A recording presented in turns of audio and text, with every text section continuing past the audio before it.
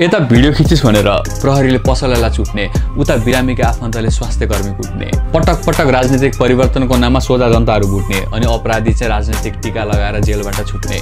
जनता मर्या मरै छन्। भ्रष्टहरूको चाहिँ पैसाले पेट फुट्ने। यो सब थाहा छैन हामीलाई। तैपनि काना तेल हालेर सुत्ने। चुनाव आउन लाग्यो अब त हाम्रो पालो भनेर फेरि केटाहरू जुट्ने तर कसलाई बाल? पेट्रोल पैसा अनि कुखुराको साप्रो छुट्ने फेसबुकमा पो हो त देशभक्ति देखाउने। चुनावमा त बियरले छुट्ने अनि फेरि त्यही दिमागमा ढुसी परेका नेताहरूलाई त हामी सत्तामा थुत्ने। हामी तल बस्ने ताली पड्काउने जय जयकार गर्ने अनि ती पाखण्डहरूले माथि बस्ने र हाम्रो टाउकोमा